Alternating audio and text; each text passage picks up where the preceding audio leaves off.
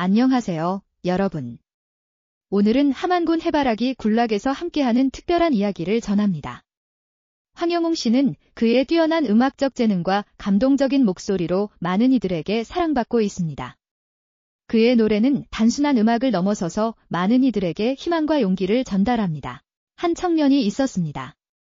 그는 어려운 시기를 겪고 있을 때 황영웅 씨의 노래를 듣고 감동을 받았습니다. 그의 노래는 마치 어두운 하늘의 한 줄기 햇살처럼 그의 마음을 밝혀주었습니다.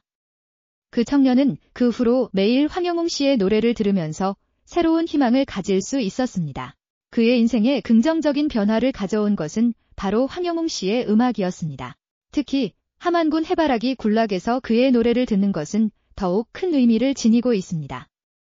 해바라기는 언제나 희망과 따뜻함을 상징하는 꽃으로 그의 음악은 마치 그 꽃들처럼 사람들의 마음속에 희망의 씨앗을 심어줍니다. 그는 자연과 함께 피어나는 그의 노래가 사람들에게 주는 특별한 감정을 이해합니다. 황영웅 씨는 단순히 가수가 아니라 사람들에게 큰 영감을 주는 예술가입니다. 그의 음악은 오늘도 많은 이들에게 사랑과 희망을 전달하고 있습니다. 그의 인생에 감사의 마음을 담아 함께 하루를 시작하는 이 순간을 소중히 여깁니다. 함께 황영웅 씨의 음악을 듣고 그의 감동적인 이야기를 함께 나누며 더욱 행복한 하루를 시작해보세요. 오늘 영상을 끝까지 시청해주셔서 감사합니다. 항상 건강하시고 행복하세요.